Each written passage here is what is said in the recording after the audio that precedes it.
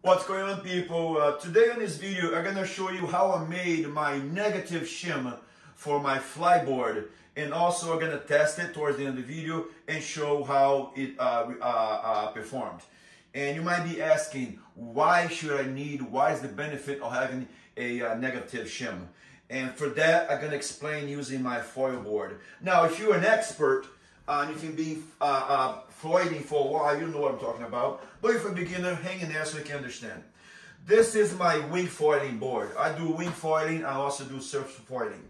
So with these boards, uh, with any foiling, what you want to do is to keep your back foot on the top of that mast as much as possible. Why?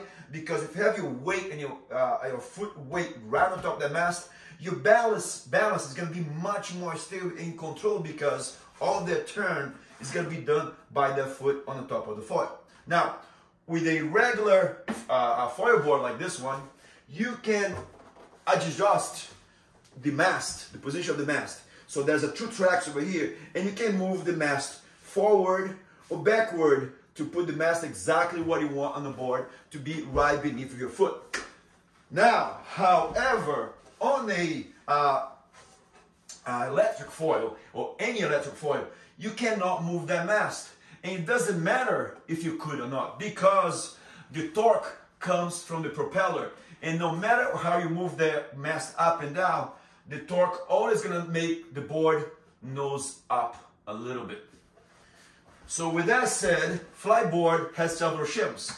The only problem with Fliteboard has the uh, shiv, uh, the, the shims 0, 1, positive 1, positive 2, positive 3, positive 4. And that's why they recommend you to start with a higher shim. Why? Because the higher shim, 3, 2, and 1, will bring the nose up, making the board slower and more stable. Now, as you progress and get better, they tell you to bring to the, uh, to the uh, shim 0, and that's most people do. But even though, so as you bring to the, to the shim zero, the board is going to be on a zero level, it's going to be uh, on a flat position. But it doesn't matter. As you get better and better with Fliteboard, and as you move faster and faster, that tail always gonna have the torque and it's gonna bring the nose up. I find myself at the speed of 12 to 13 to have to move my foot all the way forward. So as you go faster, even on a shim zero, you're gonna find yourself moving forward on the board as much as possible out to the nose. I've seen people riding, running to the nose. And what happens to that? That means your center of gravity is right here now, now on top of the mast. You can still have some control. However, uh, your movement, which is left and right, banging left and right, it's gonna be very out of balance. So by making a, uh, having a negative shim, what it does is to bring that nose down.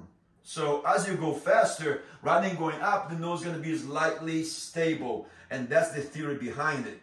Now, I uh, called uh, uh, Fliteboard and I asked uh, uh, uh, Rudy, I think. Rudy is the representative for the United States, uh, Fliteboard United States. Really cool guy. He gave me good news. He said that Fliteboard will be making negative shims for the market and they're also in the future going to make printable meaning you can scan you can download the printable version on a 3d printer. But until then i took up on my own to make my own shim.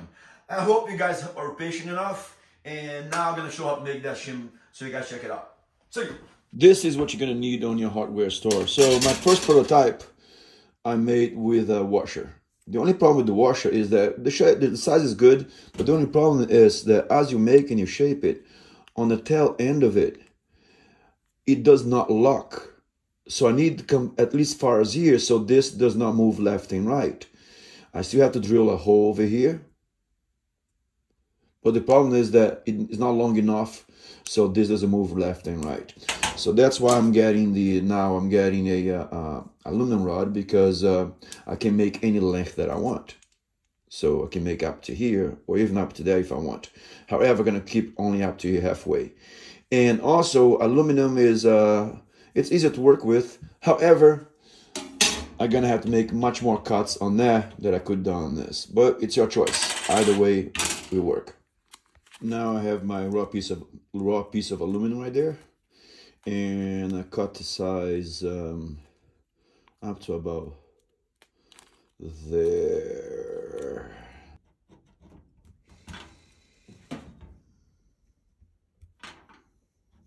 The only tools that you're really gonna need for this is um, it's a grinder. You're gonna need a, a grinder itself and a diamond cutter, right? But usually gonna shape with this on the grinder.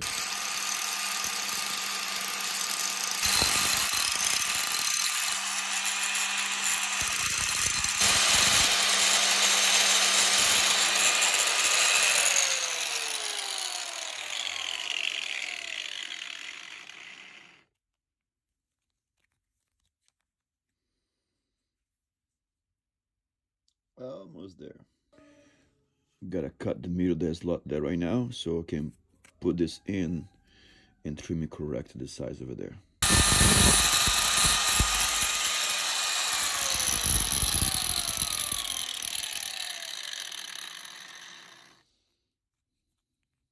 Yep, there we go. And now that doesn't let it turn around, doesn't let it turn sideways. There we go. I just gotta finish it up now.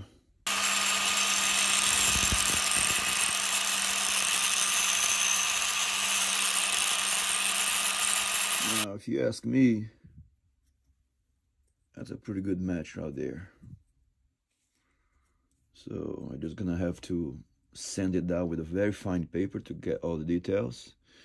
And the only thing I gotta do right now, it's make a hole right there is almost done. So now here comes a very delicate part of this whole thing. So for the fact that this shim is going to be seated between the fuselage and this, you can't just put it out there. So you got to have a slightly angle to go up like that. So I have to do now is shave on the top of here to make a slightly angle going up. So we had to simulate something like that. And there you go, as you can see now, there's this slope over here going up until it gets flat. There's slope over there is important. I think I did a good job trying to match both sides the same way.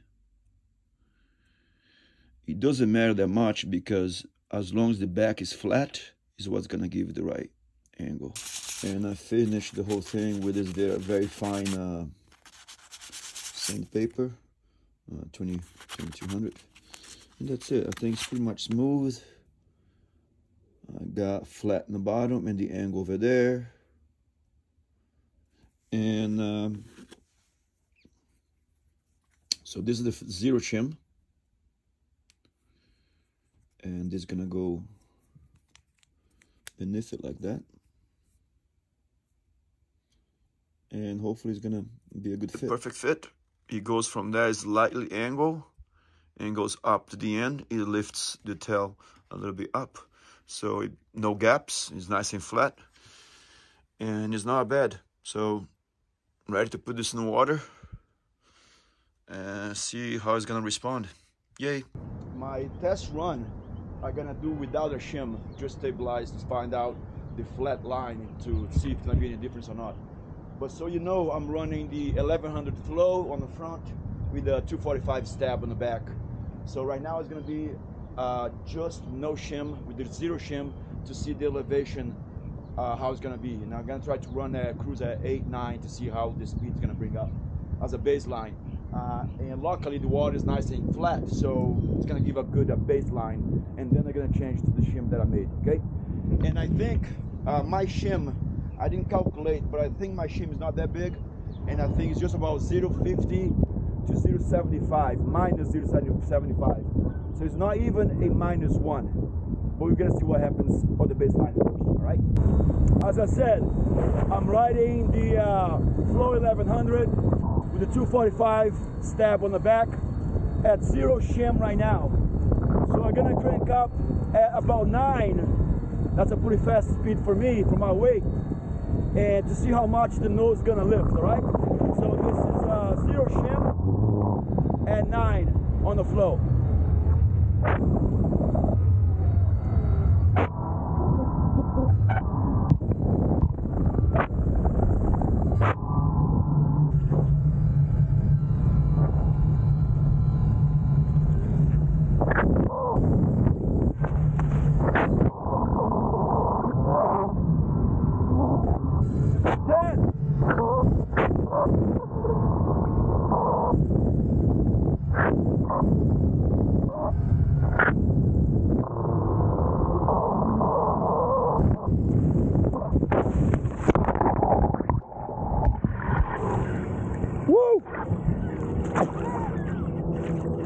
So that was a 10 and I felt the lift going up and up and I didn't move forward. But I hope you can see where my foot was and uh, I'm gonna ride right now on the other one. Now let's switch the shim and as you can see it's probably I think I think about 075 050 negative lift and see what's gonna happen right now see how the ride's gonna be huge huge difference as I saw I'm stepping way much back on the on the board. Almost on top of the mast right now. I'm at 9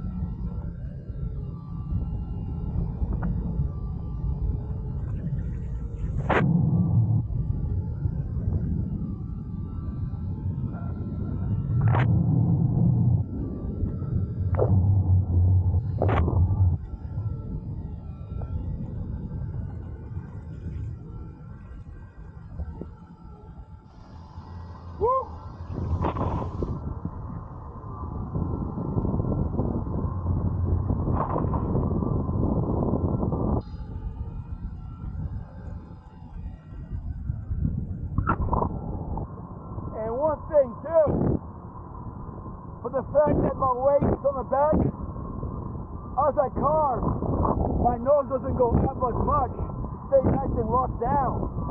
So I actually I get a better right on the carving head. Wow, dude. Yeah. now I hope over here that looking at the view side by side, you notice that I'm about half a foot back close to the mast on the right video, and that's with a negative shim. Now what that translates into it. Basically, as I said, the closer you are to that mast, the more stable you're gonna be on the board. Now, I know it probably didn't look that very impressive. However, I only have about half an hour to get used to the shim uh, left on my battery. But I can tell you this, on the carving turns, usually on the zero shim, as you're making a turn, the nose wants to lift. On this, it stays super, super stable.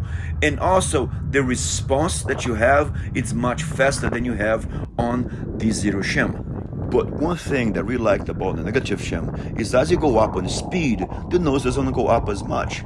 It feels like it, it stabilizes itself, meaning as you gain power and torque from the propeller, the negative shim wants to bring nose down rather than up. So it stays nice and stable. Simply amazing. Now, let's face it, I made this out of a piece of junk in my backyard, guys. And I just hope that Fliteboard is gonna get into and make some cool sets of negative shims so you can choose from. Because this little piece of crap that I made was awesome. I just got out of the water right now, and I have to admit that I'm pleasant surprised and stoked for the fact that the piece of crap aluminum that I shaved into shape actually worked. And that was without even major crazy measurements. So I have a I have a, a request. In case if you are a tech guy who happens to have a printer, a 3D printer, and a scanner at home, uh, or access to one, let me know. I will ship you the original Fliteboard Zero shim and also a positive uh, shim so you can scan it and make me a negative 0.50, 0.75 and a 01 shim uh, to, to find out which one's gonna be better. And of course, I'll pay for you. And if you have the skills, let me know. I'll pay gladly pay for you to make those shims for me. Uh, and rather than waiting for uh, Fliteboard to make one because they do work. Guys, thank you so much for watching. Uh, give the thumbs up, leave the comments below. Be good to each other, and I'll see you guys in the water again. Take care.